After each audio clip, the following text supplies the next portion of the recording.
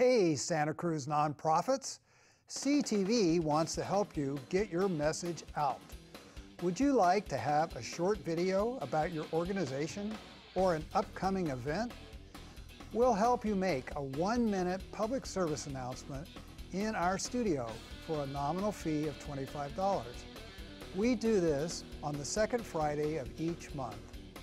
Your PSA will run on community television's channels and be posted to YouTube to use on your website. We can even use our green screen to place you anywhere in the universe. Please visit our website for more information or send an email to kscott at communitytv.org. Thanks.